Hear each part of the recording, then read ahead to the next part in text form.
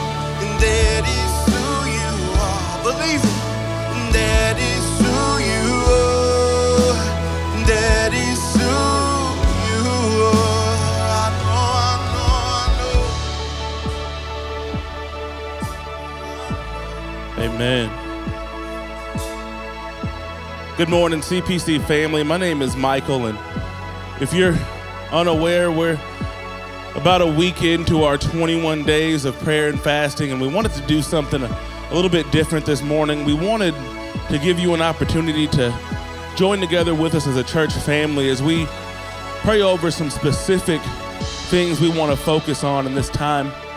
And you'll see those things here on the screen in just a second, actually, right now. And I'm so excited to get to pray with you about these things this morning, but but here's something I want to see. I'm going to pray, but I would really appreciate it if I'm not the only person in this room praying. Because I believe that something incredible happens when a body of believers joins together. When we gather together and pray on one accord in unity, relying on our faith that we have in Christ Jesus. So as we pray, I want to hear you guys praying too because we're a family, right? We're a family here, right?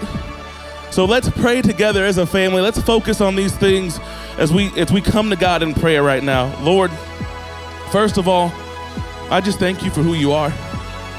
I thank you for your presence here this morning. I thank you that that presence is alive and real on the inside of all of us. I thank you that we can boldly walk into that into that presence that we don't have to be filled with guilt or shame because of what was purchased for us through the through the blood of Christ Jesus. We can go boldly before you. And so I pray that you fill us with that boldness as we pray here together this morning. God, we pray for an explosion of new believers. and those new in the faith that they continue to grow, Lord. I pray for everyone in our surrounding areas and around our world. If they don't know you, Lord, I pray that they do. I pray that they will. I pray that you bring people into their path to speak your word boldly and confidently into their lives. Lord, I pray that as those seeds are planted, that they land on good soil and that they produce fruit, Lord God, that they produce real, beautiful, and tangible relationships with you, Lord God. We thank you for that. We thank you, Lord. I thank you for spiritual renewal, Lord. I pray for that not only personally, but corporately as a church family, Lord. I pray for anybody who is in a season right now where they just feel dry, they feel empty, they feel like they can't hear you, Lord. We've all been there. And I pray that in those moments, if, if, if that's anybody in this room, if that's anybody watching online, I pray that you give them a, a renewed spirit, Lord God, that you create a new heart within them. I pray for their faith to, to be built up in this moment when, when those doubts and those fears and those feelings of loneliness and emptiness come, Lord God. I pray that you surround them with your comfort, surround them with your peace, surround them with your love in a way that only you can, Father. God, I pray for wisdom and direction as we continue to grow in the mission that you've given this church. I pray for our pastors, our leaders, our elders, our administrators, those that make decisions. Lord God, I pray that you give us wisdom. I pray, Lord, that you help us not to rely on our own wants and needs and desires, Lord God, but to rely on your word, to seek after your heart, to seek after your truth, Lord God, because it's not about us in the long run, Lord God, it's about you. It's about what you want to accomplish through the people of this church, Lord. I pray God for your blessing and your provision, Lord, as we as we prepare for our mad season, Lord. And I, I pray that I pray that that's not so that we can boast about a number, but that it's about the needs that are represented not only in this church family but around the world. And I pray that you continue to put us in a position where we can use the resources that you have graciously blessed us with to reach around the world and to help people and love people, Lord. I pray that as we go into these new seasons as a church, I know that growth is coming, Lord God. So as that growth continues to happen, I pray that you would birth more of our groups and more leaders for those groups, Lord, because those groups are so important. It's what helps us build relationship as a church. It's what helps people to feel connected, to feel like they belong. And that's something that so many people in this world need, God. So I just pray that you would bless our, our group ministries, Lord God, as, as we continue to grow in you, Father. And we thank you for that, Lord. I pray that you help us to reach further in our, into our community, into our world, into the, the places around us. And again, not so we can boast about how cool we are and look at all these cool things we do, Lord God, but we want to reach people because it's what you've called us to do. Just as you left the 99 to find the one, I pray that you birth that desire on the inside of us to go and find that one, to go and find that person that's lost and broken and hurting, and let them know that there's a way, that they don't have to feel that way.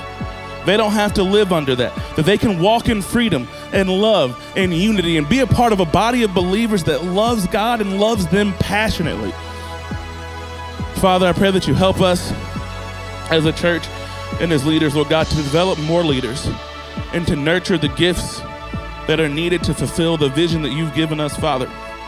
I thank you for every man and woman in this church, the calling that you have on them, the destiny that you have in their lives, Lord God. And I pray that you just help us find ways to cultivate those things, to raise up passionate men and women who love God and want to tell the world about you. Thank you, Father, for what you're doing in this church and what you're going to continue to do in this church, individually and corporately, Lord, because we know that you're the source.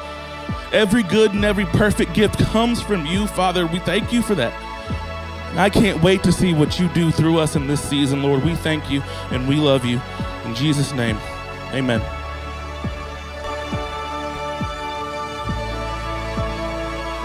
Just take it one step further today. Anybody in this place that has a need, something that you want to pray over, can you just lift your hand up right now? Look around. Pick somebody out. Pray for them this morning. Ask God to step in and make a way. Amen? Come on, we're all in this together today. We're all in this together. Let's continue our worship.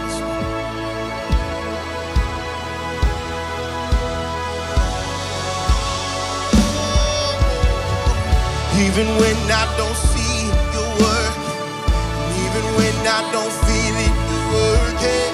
You never stop, you never stop working.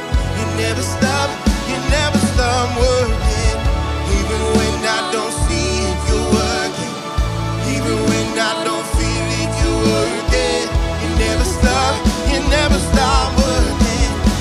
stuck.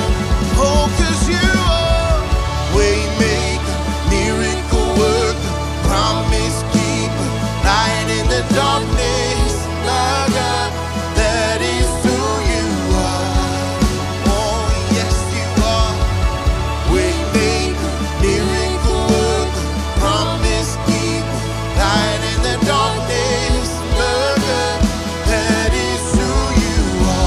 proclaiming.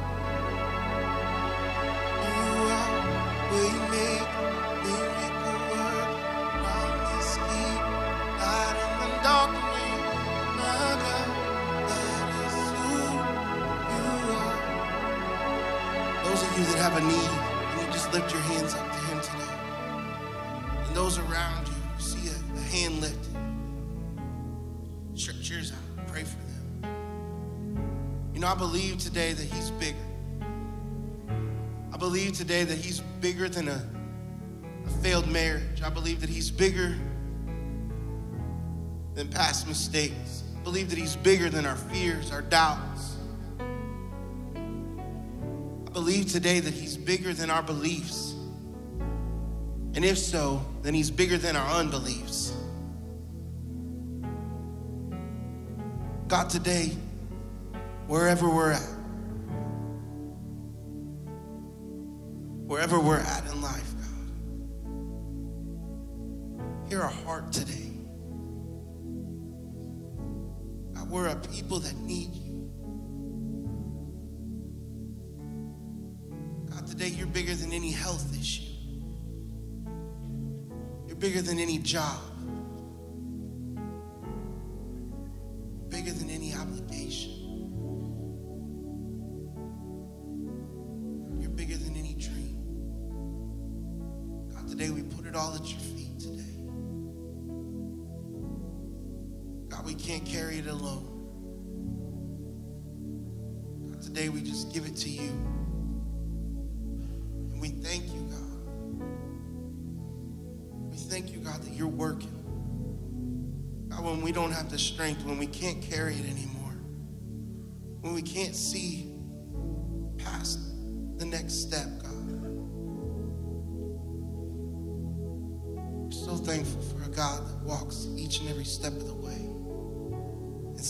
Carries us. God, we love you we thank you we praise you. It's in your name I pray. Amen. Amen. If you believe he's working today, can you give him some praise this morning?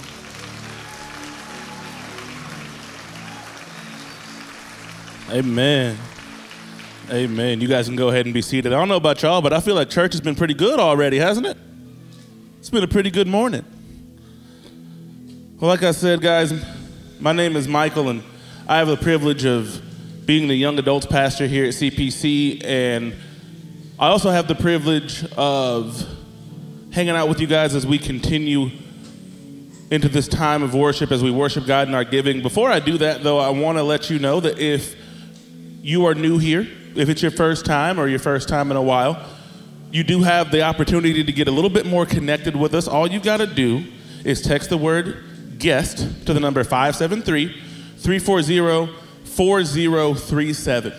That just gives us a little opportunity to get some more information about you. You get some more information about us, and it just helps you get a little bit more connected with us as a church family. You can do that right now. Just text the word guest to the number 573 340 4037, or you can even scan that handy QR code that's there on the screen. But as we as we're doing that, I just like I said, this is a time where we get to worship God in our giving, and that's something that we believe is important here to do as a family. Just like praying as a family is important, we also believe that giving as a family is important as well. And here at CPC, we actually make that incredibly easy. There's four incredible ways to give. All you got to do is uh, you can text the amount that you want to give to the number 84321. You can go to yourcpc.church slash give. We've got some drop boxes in the back there. You can drop your gift off that way as well. Or you can mail your gift to the address that you see on the screen. But as always, we encourage you to be a part of that as we, as we give together as a family. Let's go ahead and pray over those offerings. Lord, we thank you for who you are. We thank you for your sweet presence that's here in this room with us, and it's also with everybody that's watching online. And we just thank you for the opportunity to gather together as a family, to worship you, to learn about you, to love you, Lord. And I pray that as these gifts come, that you would do what only you can do with them, Lord, that you would uh, use those resources, stretch them around the world to bless as many people as possible. Because we can't do it on our own, Lord God, but we know that you're capable of any and everything, God. So we just thank you and we praise you for what you're going to do. In Jesus' name, amen. Amen. If you believe that, and you appreciate our God today and the power of His Spirit. Come on, one more time, give Him a shout of praise. Up in this house and watching online, giving praise wherever you are right now. Look at two people right now and tell them, I'm so glad to see you today. And we're so thankful for those of you who have tuned in online. Hey, congregation, can we welcome our online campus right now? Come on, let's give them some love. Appreciate you being with us as well. Uh, how's, how are you doing? You're, you're one week in, 21 days of prayer and fasting. Now, uh, I know it may feel a little awkward for some of you if you're not used to this. Uh, maybe you switched yours up a little bit. I'll, I'll be honest, I switched mine up a couple of times this week, just during the week, just to keep it fresh for me. You know, every day is like, all right, God, where are we going today? So uh, keep it fresh. Continue to fast and pray with us. And one of the things I'm so excited about our online campus is our media team was even telling me that, um, that we, we've got folks in other states who've been getting on their social media sites and announcing to their family and friends, hey, I'm doing 21 days of prayer and fasting with my church at yourcpc.church online. And so, come, come on, one more time. You got to give it up for people who are fasting in other states with you, right? They're like, I won't make them suffer without me. So you got to give them some love for that. Thank you for being a part of this. And listen, no matter where you're at on the 21 day journey, uh, if you're new to our church and, and you know, like today's the first day you've heard about it, and the Holy Spirit pricks your heart to jump in, jump in today. Jump in. We have a few hard copies of the devotional guide left in the hub at the CPC swag counter, but all of you can download it as an ebook off of our website. It's right there on the homepage, yourcpc.church. So follow along with us. The devotions have been amazing. I'm so proud of our staff. They've done a fantastic job writing those devotions. They'll speak to your heart. So just go ahead and jump in. And hey, if you're in the prayer and fasting and you had a hiccup this week, maybe you stumbled, maybe you just blew it for a day.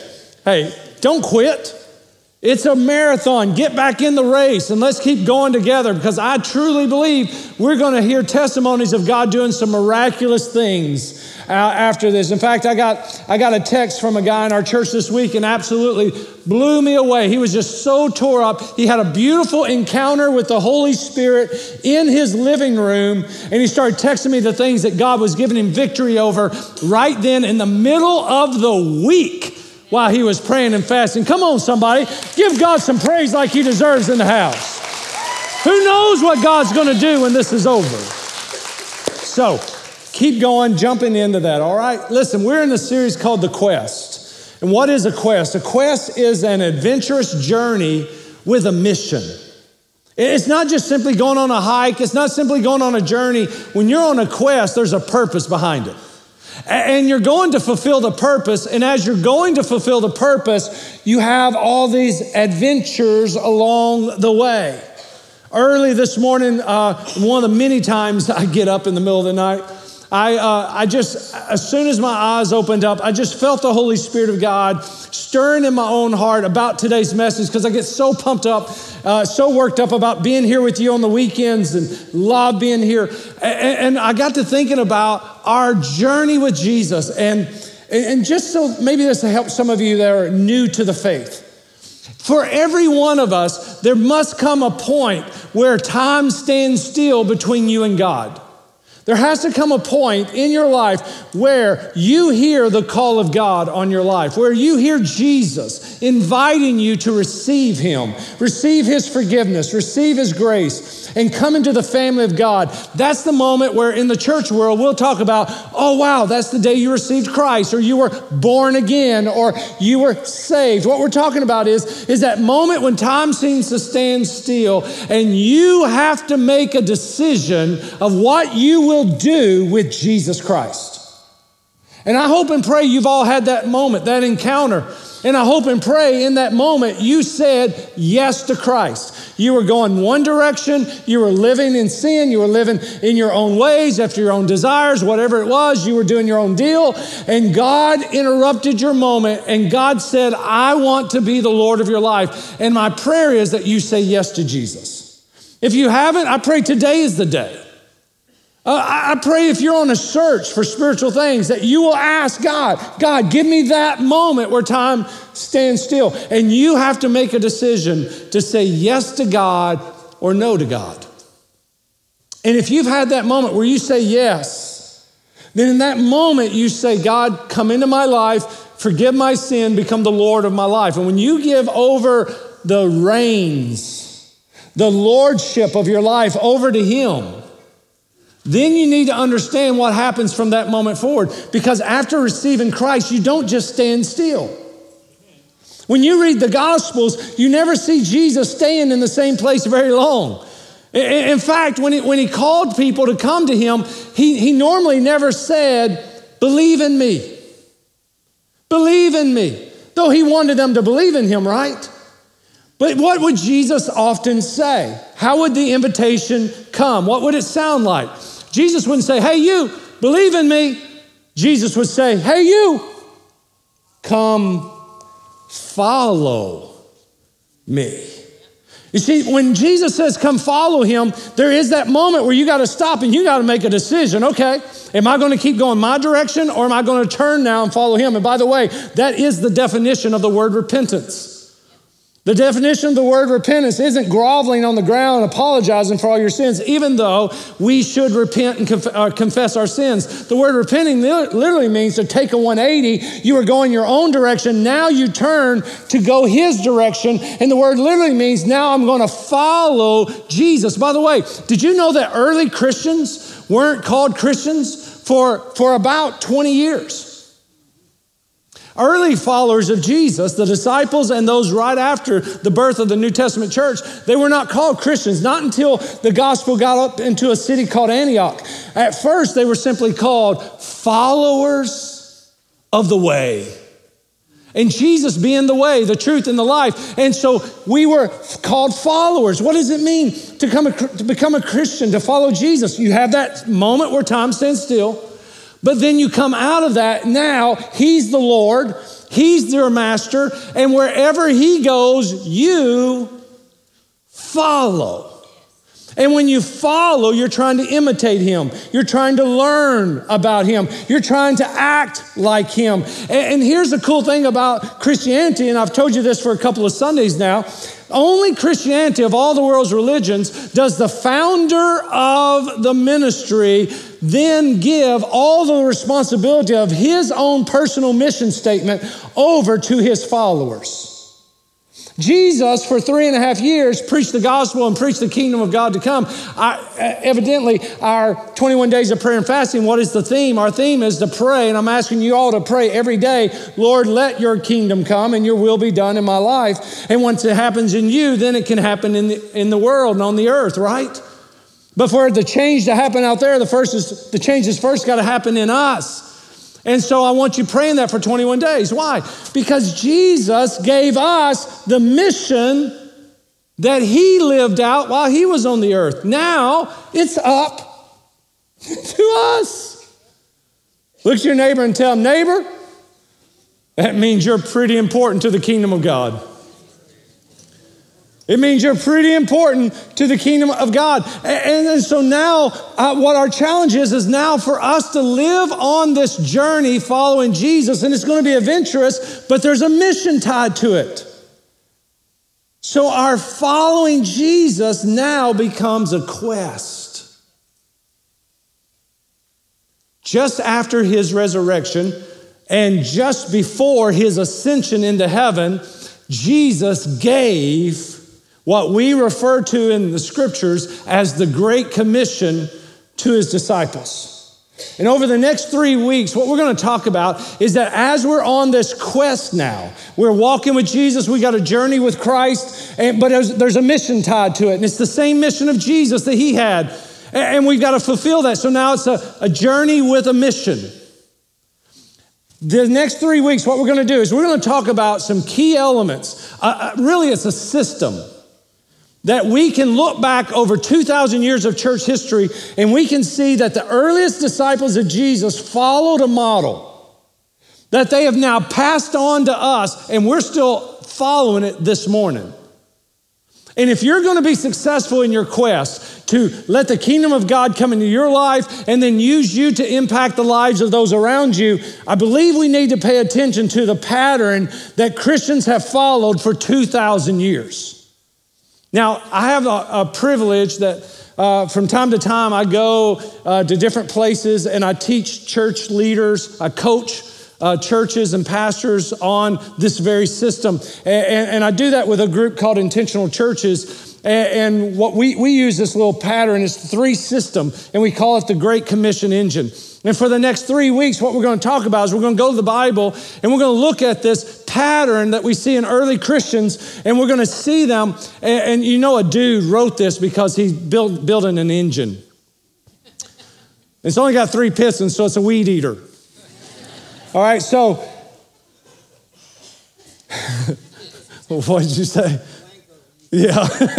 and so we're, we're, going, we're going to build this together but all of this is, is just taking, go, going back to the simple gospel and, and putting it in a way that's real easy for us to understand. And so today, let's look at the mission, and then we're going to see what the first stop is that can help encourage us on our quest to stay focused on the mission. Here we go. Look at the last words of Jesus, or some of his last words, rather, right before he ascends to heaven. This is right after the resurrection. It's called the Great Commission. Look at it Matthew 28, 18, and 20. Get your pen ready because I'm going to have you circle some things. Here we go. Ready? Jesus said, came near, and Jesus said to his disciples, All authority has been given to me in heaven and on earth. So, question is Jesus Lord of it all? Absolutely. Now, watch this. Circle the first word. Let's say it out loud. Ready? Go. One more time, just so I know everybody got it. Go. Go, therefore, and circle these two words make disciples. Make disciples where? Of all the nations of the world. Is there any place in the world that's off God's radar? No, no, no. Does God care about every single person, every ethnicity, Every language, every people group of the world, does God care about them? Yes, they're all created in His image, and He wants them to know His Son. Go and make disciples of all the nations. And when you make a disciple, when you bring them to that point where they make a decision to follow Christ or not, and when the ones who say yes to Jesus, what do you do with them? Here's what Jesus said. Now baptize them. Circle that and say it out loud. Ready? One more time. Baptize them in the name of the Father and the Son and the Holy Spirit. Now, I love, I love the fact that then on the day of Pentecost, Peter says, and baptize them in the name of Jesus. And sometimes people in church world get all weirded out and they say, oh, that's two different baptisms. Which one do we do? No, they're not. They're the same one. Because there's only one name given whereby man may be saved. There's only one name to the Father, one name to receive the power of the Holy Spirit, and it's through the Son. So, in the name of the Father, the Son, the Holy Spirit, what are we doing? We're bringing people into Jesus. And, and, and we're saying, go public with Jesus. And then he says, and teach them, circle that, and teaching them to observe everything that I have commanded you. So if you were there, here's how that would have went. Jesus would have had you there on top of the mountain and he would have said, "Hey boys and girls," because I love the fact that women were in the group as well. And that's very important because in that in that time period women were excluded from much of society, but not with Jesus. Jesus invites men, women, boys, and girls, and every ethnicity and every race, saying, Come to me because God loves you and God wants you to know me. And he says to his disciples there on top of the mountain that day, right before he sends to heaven, Jesus says, Here's what I want you to do. I want you to go do exactly what I've been doing for the last three and a half years. I want you to go do exactly what the Father sent me on the earth to do. Do you are you catching the drift here of the weight of this incredible privilege? God says, I want you to do what I have been doing on the earth. I'm giving the responsibility to you, my followers. Go and make disciples, then baptize them, help them go public about their faith, help them never to be ashamed of me, and I'll never be ashamed of them. And then teach them everything I've been teaching you. Now, you think about the weight of that. Think about your own journey and where God has brought you and where He is bringing you. And then think about it this way God wants you to take what He's already taught you and pass it on to someone else. You say, but wait a minute, wait a minute, Pastor, I got so much more I need to learn. I got so much farther I need to grow. Look at your neighbor and tell him, say, neighbor, give yourself some grace. God only wants you to teach me what you already know. And then as God continues to grow you, you'll have more to grow. But don't wait until you reach some kind of level where you say, now I can go and share. Listen, you know what the one thing is every one of you can share with someone else today? Is your personal testimony, your personal time you've had with God. You may have only been a Christian for six weeks. Well, guess what? You got six weeks of testimony that you can share with someone new to the faith or someone who hasn't made that decision yet. Share where you are. And Jesus says, Here's what I want you to do I want you to go do this. And how many know it's not a one time stop journey? It is a journey, right? It's not a one top stop destination. It's a journey that you got to be on, it's a quest. And Jesus has given this responsibility over to us. And listen, when I'm coaching these churches, it's really fun to go in the room and say, okay, what's your church's mission? And people start scrambling. All right, all right, I got to say the right thing here, right? I mean, what, what should our church be? And, and, and, the, and the deal is, the deal is, listen, listen, listen. Any true Bible believing church can only have one mission. It's got to be the Great Commission because it's His marching orders He gave to us. Now, what, when we ask that question, what we're actually doing is we're saying, okay, you need to be able to internalize it for you. How are you going to do this? Make disciples, baptize them, teach them the ways of God, grow, bring people to Christ, helping them go out for Christ, and help them to grow up for Christ. And you can say it however you want to. So here at CPC, here's how we say it. So on your message notes, write this down. Here at CPC, we use three simple words because I like to keep everything simple. And here it is connect, grow, and go. Say those out loud with me. Ready? Everyone here and online, just go ahead and type it in the chat line if you're online. That way everybody will know you're listening. All right, here we go. Connect, grow, and go. Our goal is to help people make disciples. We want to help you connect, first of all, to God through His Son Jesus, but then understand that God doesn't want you to live out your faith alone. He wants you to connect to one another. So connecting horizontally and ver- uh, vertically and horizontally to God and to people. We want to connect, and then we want to help you grow in your faith. We want to help you grow, and that's why we, we have groups, and the reason why you do teaching, preaching with outlines, and, and so I want to help you grow. And, and then and while we do 21 days of prayer and fasting, and then we want to help you go. We want to help you go out in public and, and never be ashamed of Jesus and, and, go help others understand that as you become a follower of Jesus, here's a mission you're to live your life on. What is that mission? You're to go help make disciples. And you're to baptize them and you're to teach them. And then what do you do with those people? You teach them that they got a mission. What is the mission?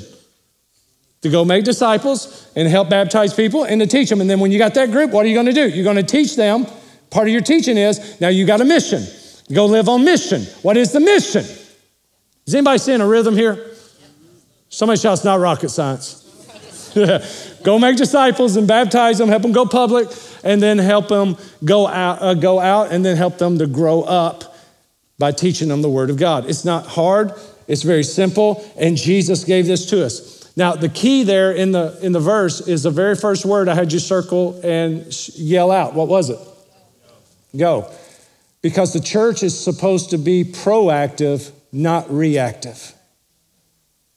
And what happens when we forget about our mission is we become internalized, and the culture around us, the world around us is changing, and we don't change to get the gospel out to them because we've lost touch. And then they come into the church, and then churches become reactive. They got to start switching stuff up on the inside now to try to relate, and it's too late at that point. We're not supposed to be reactive. We're supposed to be proactive. We need to be the ones out in the community. We need to be the ones always pushing the envelope to bring more people to the gospel of Jesus Christ. We got to live on mission. And while we're living on mission, there are three, three pieces to this system that can encourage you. Three experiences that you need to have on a regular basis that'll keep you motivated and keep you focused when these pistons are running in the right order. Here's the first one. Here's the one we're going to deal with today. One of the things that God has called His church to do, His people to do, in fact, we see it from the time Jesus was with his disciples. It's the model the early disciples followed. It's the ones that was passed on to the next generation of believers. And all the way now, 2,000 years, here we are this morning on campus in Jackson, Missouri, or online all over the world. And what are we here to do? Why do we gather this morning? Here's the purpose according to Scripture God has called us to connect. We are to connect. We're to connect vertically to God. We are to connect horizontally to one another. And we need to do this through regular gatherings.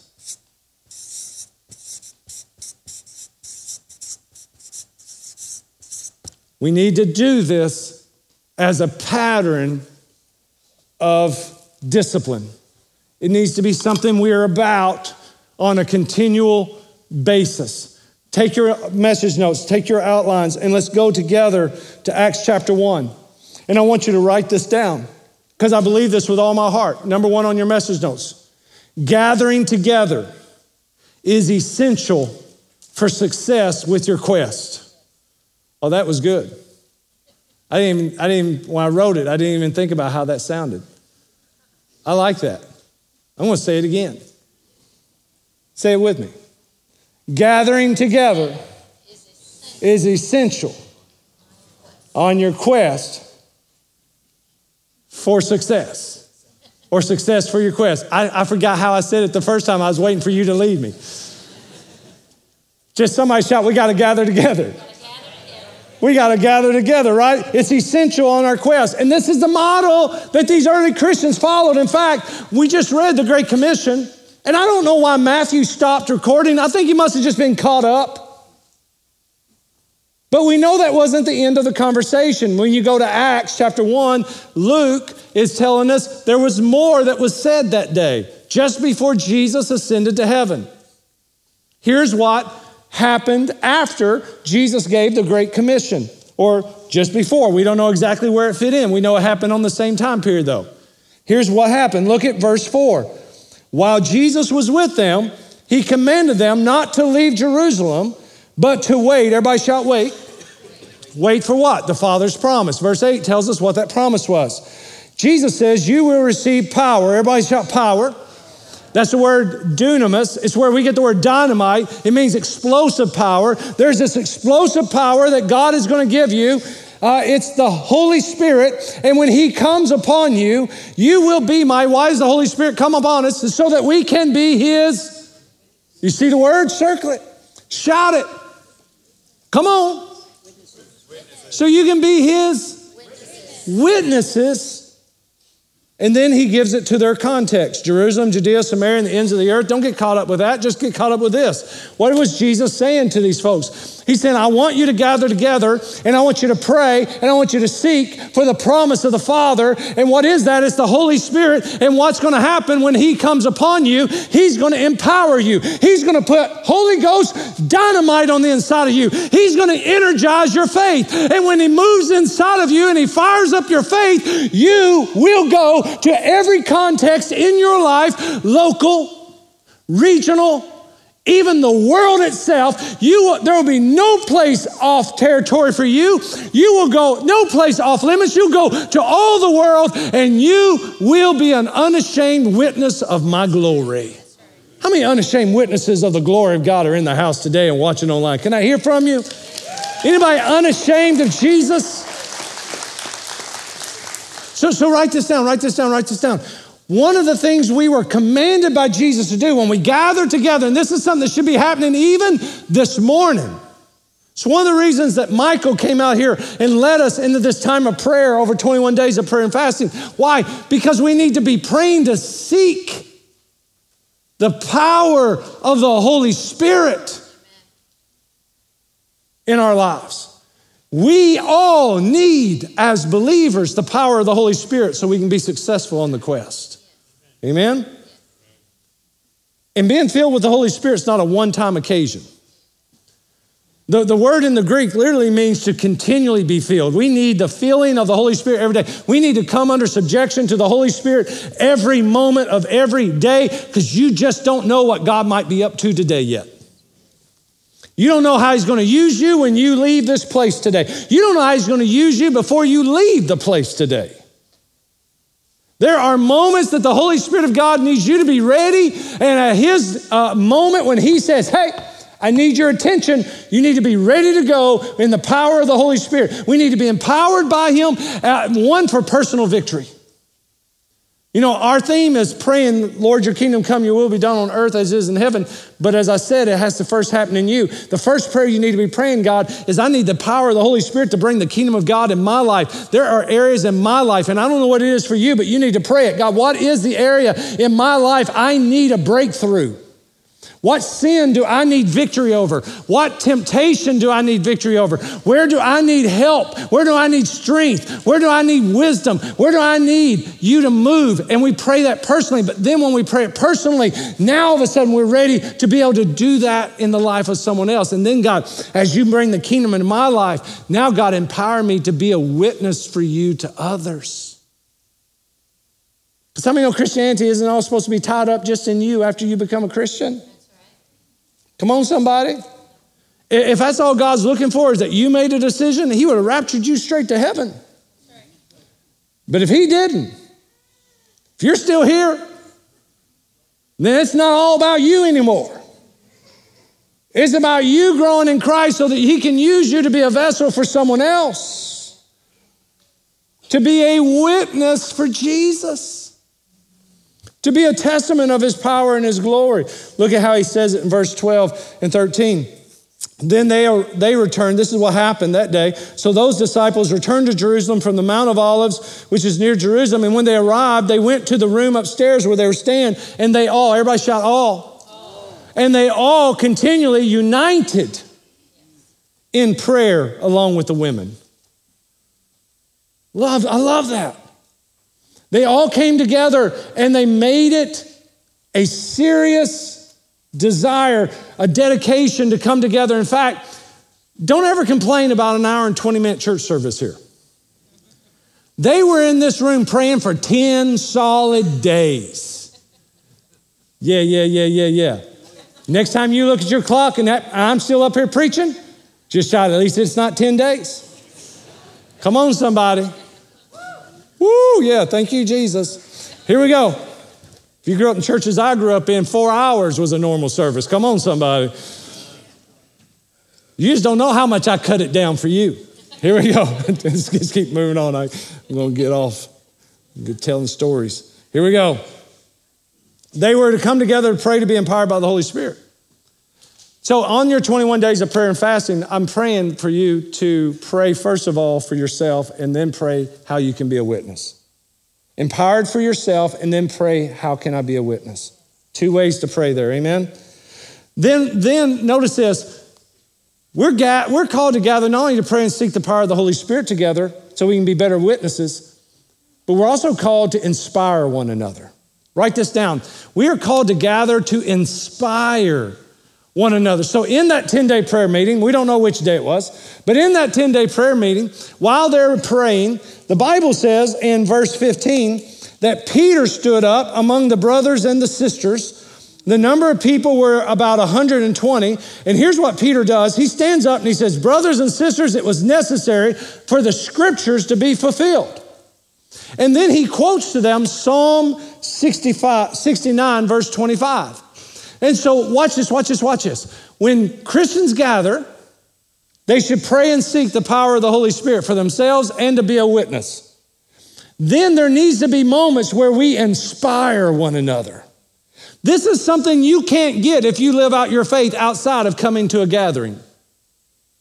And I pray that it's something you find value in coming together on this campus or gathering with other believers online. I pray that you realize that when we come together, what we can't do on our own is inspire one another. This should be a motivating house. This should encourage you that when you leave here, you can't wait until you gather again next week. And you just think about all that God's doing. And it encourages you that on Monday, you can grow deeper with God on Monday. And it'll encourage you that on Tuesday, you can be a great witness for Jesus on Tuesday. And it gives you something to long for and to look for and to say, man, when I'm with that group, when we're singing together, when we're praying together, when we're studying the scriptures together, it does something on the inside of me. It makes me come alive. I love it when people leave church going, woo, wow. And they get on social media all day Sunday afternoon going, can you believe how many people were baptized today? Can you believe how many people has come to faith this year? Can, can, can you imagine? Man, when we were singing that song, when, when the altars filled up at that time, when, when this point was made in the sermon, I always throw it in there. I don't know if it ever happens, but I'm just hoping, all right? It's just, but when that sermon came out, man, it just inspired me. It fired me up. Whatever it was.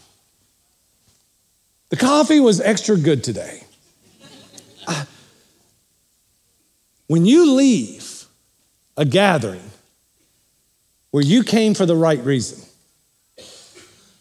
you can always expect the Holy Spirit to do something special. And it fires you up on the inside. Peter stood up and he started preaching. You should always have the inspiration of the Word of God.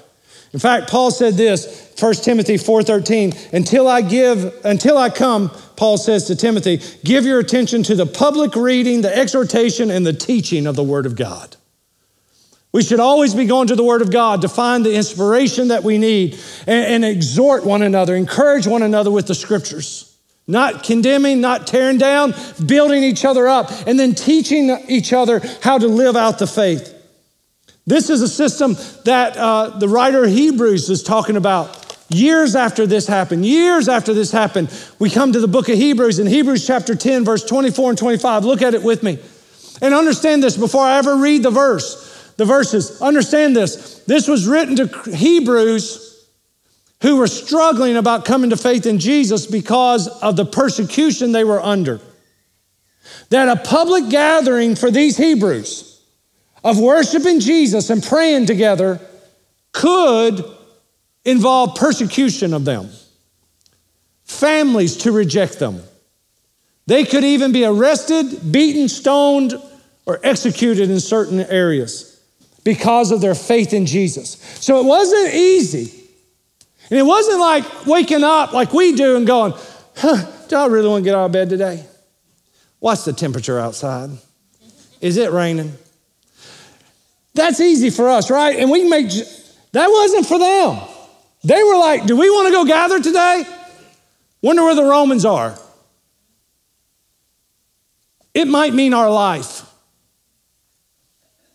In Hebrews chapter 10, verse 24 and 25, here's what it says. And let us consider one another. Underline that right there and read it out loud one more time. Ready to go. Let us consider. I'm going to come back to that and I don't want you to miss it.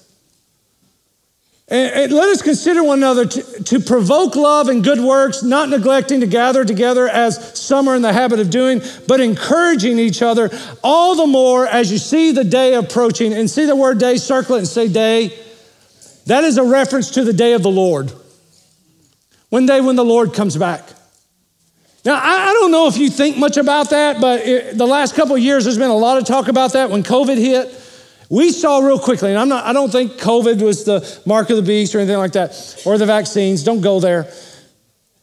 But what it did is it showed us just how quickly the whole world can flip. And then when you go to Revelations and you read one day where you'll have to have a certain mark in your hand or forehead to buy or sell, we can see the framework of how that could happen someday now, right? I mean, for 2,000 years, Christians read that and was like, oh, that, never happened. we can see the framework now. Now you've got Russia invading the Ukraine. And I hope and pray that you're praying for peace. Peace for Russia and the Ukraine. Both need to come to Jesus and have peace and healing. And there's people who are suffering and, and innocent lives have already been lost. And you need to pray about that. But when you see that now, you've got politicians talking about we're on the brink of a world war and, and there's fear. And you watch the media, man, you watch the news, you, you, it's nerve wracking, right? It should be. I don't know if you ever think about it, but one day Jesus is going to come back. And, and as we see all this stuff happening in the world, the writer here says, and this was 2,000 years ago, people, he said, or she said, whoever wrote it, they said, we don't need to stop gathering together. We need this more now than ever. We need what can only happen when we gather in this room more than ever. We, we need one another to come alongside to pray and seek the power of the Holy Spirit. Because I want to be honest, some days my faith isn't where it ought to be. Your faith can give me strength. And some days yours isn't there, and my faith can be there for you. We need this together. And there's just something happens when we're all singing Waymaker, miracle worker. Come on, somebody. And in the whole room, you start feeling the moving of the Spirit of God, and you're like, wow, God's saying to all of us at the same time, I'm still here. Mm. And we need these moments to connect to God and then to one another. And we need to get to the Word and get out of the news and inspire ourselves again with the Word of God that He'll never leave us nor forsake us.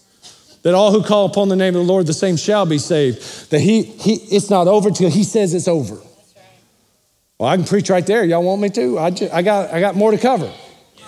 And y'all want to eat lunch for some reason. Come on. And you're supposed to be fasting. Shame on you. Here we go. We got to have this now more than ever. But can I, can I throw can I throw it a little deeper? Did you see that first line I had you to underline? Read that first line one more time. Let us consider one another. Can I tell you one of the most important reasons you need to gather at church on a weekly basis has nothing to do with what you need, but it's about what you need to do for someone else. I can't speak to other cultures, I can speak to American culture. And I can tell you one, one of the things that is killing us is this individualized view of church that I come here to see what it can do for me. After you become a Christian, now before you're a Christian, I get it. But after you become a follower of Jesus, I need to, I need to tell you something. It's not all about you now. You're to be on a quest, you're to be on a mission. Now it's about what you can do to inspire someone else. So, so if you're a believer and you don't like the music, I'm okay with that. Because I know you got seven days in the week you can listen to any music you want to go listen to. Worship however you want to worship. But when we come in here, we got a bigger purpose than just your individual preference. If you don't like how long I preach or the way I preach, and I, I have not gotten any complaints about that. I'm just using it as an example. My staff gets them all the time, but they don't tell me about them. All right, here we go. You can listen to anybody you want to listen to all week. But you're only going to have one preacher on the stage on Sunday here. And I'm preaching to non believers and believers and everyone on every field all at the same time. And I take this seriously. You don't like the color scheme? Go paint your own house whatever color you want. and Look at it all week. You don't like sitting so close to people? We too big? When you're at home, make your family sit on the other side of the room. Give yourself some personal space. But when you come in here, get over it. This is not about your personal preference. Let us consider one another. It's not about you now, it's about you being the vessel for God. Because listen, if you're saved, you're saved. Anybody got their name written in heaven's book? How many know there ain't enough bleach in hell to get your name out of the book? Come on, somebody. I got more assurance than some of you'd be comfortable with if you knew it. All right? You know what I'm talking about?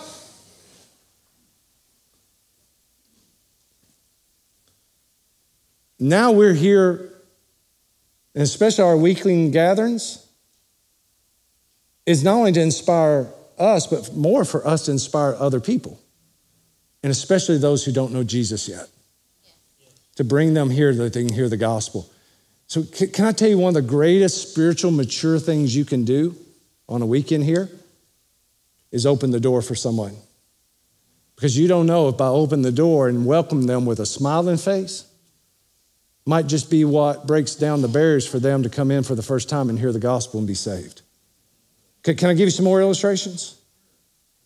Rocking babies in the nursery could be one of the most spiritual things you could do for the kingdom of God on a weekend. Because you give the parents an opportunity to come and hear the gospel and you don't have any idea what they've been through all week. Working in our special needs ministry, you let those families come in here and be refreshed and have an hour and 20 minutes where they get built back up to go face all the struggles that they got to face through the week. Man, they look at you like you next to Jesus. Are you listening to me? Running a golf cart in a parking lot, helping direct people through this building. Just coming in here every week and being ready to look at someone and at the prompting of the Holy Spirit say, "Hey, how you doing?" No, no, no, for real. How you doing? Somebody goes to an altar, you being willing to get out of your seat and walk up there and put your hand on them. You may not even know that person, but when you start praying for them, they feel the strength that they've been longing for all week long. And they realize I'm not going to fight my battles alone. I'm about to shout right now. Y'all, y'all, better, y'all better get in here with me or I'm going to run. You ready? I'm about to run. I had somebody in the last service say, When you ever going to turn loose? I'm about to. Don't you ever think what we do here on Sundays is just going through motions. Let us consider one another. Think about someone other than yourself. One of the most spiritual things you can do on your way to church to get your heart right is say, Holy Spirit, I open myself today to be your vessel. If I have a role, use me in that role in a mighty way. And if I don't have a responsibility that day, make me a vessel that you can call on. Tap me on the shoulder and tell me to get in the game. I'm ready. Can, can I just say something real quick? I, I know my time's done. I still got one more point to go. I'll do it quick. Loosen up. You're fasting. You don't need to get there anyway. Every Sunday when I'm coming here, I get here early, 7:30, because we have a run through. Sound checks, all that jazz. I think I thank God for those volunteers, don't you? They get here early, long before you ever got here. Thank God for them. But there's a group that gets here before they get here.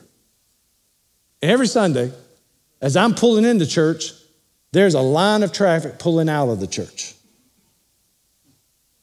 They're a group of men in a small group. On their own, they chose to start gathering out here on this property, 6, 6.30, every Sunday morning, and they pray over this whole campus and they've never told anybody. They're going to be mad at me now. But I just think we ought to thank God for people who think about other people. Amen? What are we to do? We are to provoke one another. I like that word. I like it. I'm mischievous enough to use it.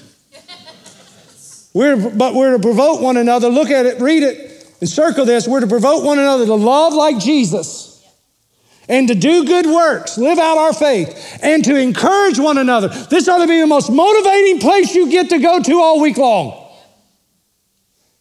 And we encourage each other from the pew to the lobby to the parking lots. We ought to be encouraging one another. When we built this building, my, my number one objective was I wanted the biggest lobby we could afford. And that one's too small. Just so you know my heart. Because I don't want you coming and sitting in a church service and then leaving and being like, whoa, I did my spiritual. No, no, no, no. The most, some of the most spiritual moments you will have today is before and after the service if you will not run out the doors and you stop and meet somebody. Because that's where connections will take place. That's where you can pray for someone. That's where you can walk up and ask them how their week's been. That's where you can walk up to somebody and say, I got you covered in prayer this week. I don't know what you're going through, but I just feel like the Holy Spirit told me to tell you, I'm going to pray for you all week out there in that lobby. Y'all said I could keep going. I'm going to give you the last points now to bless your heart and let you out. You ready? We gather to pray and seek the power of the Holy Spirit. We gather to inspire one another and we gather to worship. And when I'm talking about worship, I'm talking about we yield to God in worship. The word worship is the same, has the same definition whether you read it in Hebrew or read it in Greek when you come to the New Testaments. In, in the Hebrew, it's shakah. In, in the Greek, it's proskuneo. And it means the same either way. It means to bow oneself down in reverent fear.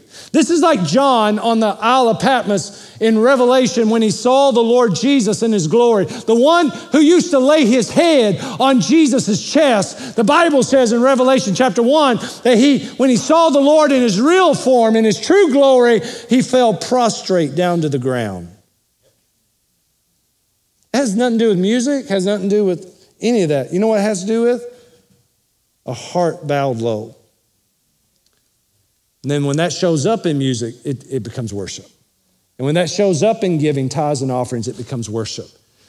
When that shows up in loving on people and praying for people, that becomes worship. And so when we connect together, we're connecting to God. And when we connect together, we connect with one another. And throughout your quest, just please listen. Being disciplined to have regular moments like this are going to be vital for you to stay spiritually healthy and fulfill the quest that God has put you on. There is a reason behind church services, after all.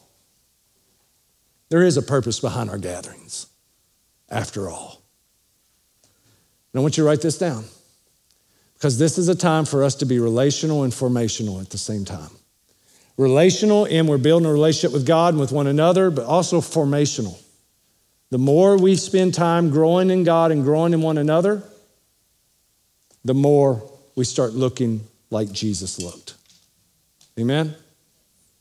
So write it down. From relational and formational at the same time. How did that look with these early Christians? Well, let's just read it as we close. Acts chapter 2.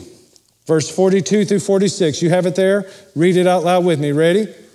These early Christians, what did they do? They devoted themselves to the apostles' teaching and to fellowship, to the breaking bread and prayer. That's communion and prayer, right? Look at verse 43. What happened when they did this? Everyone was filled with awe, and many wonders and signs were being performed through the apostles. Because as I said earlier, you can't gather together for the right reason and not experience the moving of God through His Spirit. He's going to touch somebody today. Amen. And verse 44 says, And now all the believers were together, they held all things in common. They sold their possessions and property, and they distributed the proceeds to anyone who had need. So they gave sacrificially. They thought about others above themselves. Look at verse 46. Shout this Just, just go ahead and start reading it with me out loud. Ready, to go. Every day they devoted themselves to meeting together in the temple and broke bread from house to house. Now, we'll get into house to house next week, but think about this. Every week they gathered together, and sometimes daily in the temple. Now, now look up here and let me tell you something real quick, and I'm about done. The temple wasn't a Christian temple, it was the Jewish temple. They weren't welcome to worship Jesus there. But they knew that on their quest, it was vital that they gathered together anyway, because they needed one another. Do you see that? This week, my heart broke when I, I read some quotes out of the Ukraine.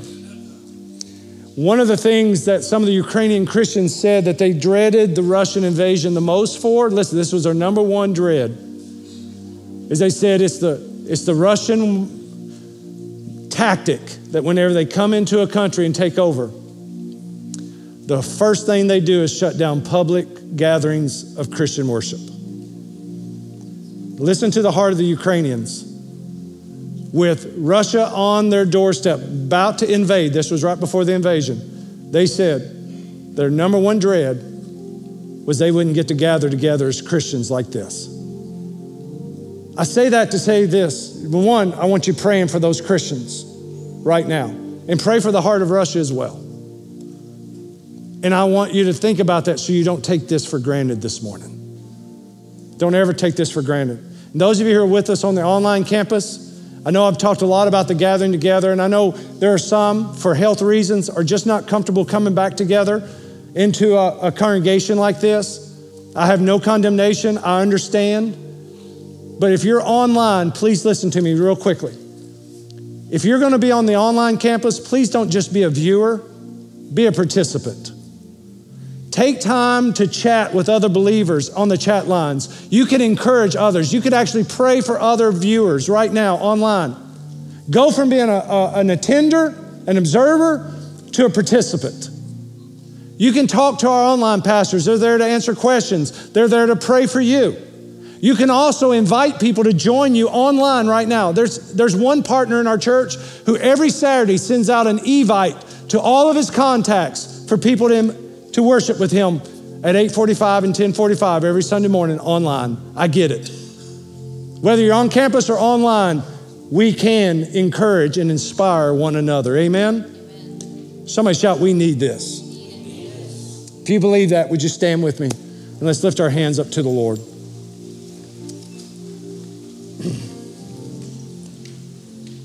Holy Father, God, today our hearts are just turned back to this mission that you have placed us on. God, we're, in a, we're on a quest. We, we've got a journey. We're walking with you, but there's a purpose behind it. There's a mission. We are to go and make disciples and baptize them and teach them and send them back out to do it all over again. Father, we need to be reminded that of ourselves. And, and, sometimes it gets difficult. And Lord, thank you. Thank you that you called believers to gather together because we need this. We need these moments together. We need to inspire, encourage each other. Thank you for this, Father. Don't let us ever take it for granted. We pray for those who are in countries like the Ukraine that that's threatened. We, we pray for those in Asia, in certain parts of the uh, South American countries, and, and some other locations around the world where, Father, they don't have this freedom. The Middle East and sections of Africa, there's not that freedom to worship like we have today. I pray for them. Some of them may be watching this morning. I want them to know, God, we lift them up to you. God, we need this gathering time. Encourage us, Father, to live on mission for you, to live on mission and inspire one another. And Father, we thank you that every time we gather together and our hearts are turned to you in worship, you do something miraculous. And we leave in awe. May we never get over the awe of you, oh God. God, we love you today in Jesus' name. Heads are bowed, no one's looking around. Just seek the Lord. Just pray. Say, God, let your kingdom come in me. Let your kingdom come and transform my life and then use me to go take it to the world. And if you're here today or watching online, never giving your heart to Jesus, today the Holy Spirit is knocking. The Holy Spirit's giving you that moment in time for you to make a decision about Jesus. If you're ready to follow Christ, would you pray this simple prayer with me? I can't pray it for you, but I can lead you. Just say, Lord Jesus, today by faith, I give my heart to you. I ask you to forgive all of my sin. And from this day forward, I will follow you. I receive you now in Jesus' name. And all God's people said, Can we give him the best praise of the morning right now? Come on. Amen. Amen. Amen. You prayed to receive Christ. I'd love for you to walk up to someone up here in the front or out in the lobby that has a red bag. They'll give it to you. It's our gift to you online. Tell one of the online pastors right now, they'll mail it to you, okay? God bless you this morning. Let's lift our voices one last time in a song before we go, and let's go on mission in Jesus' name. Amen? Amen. let's sing together.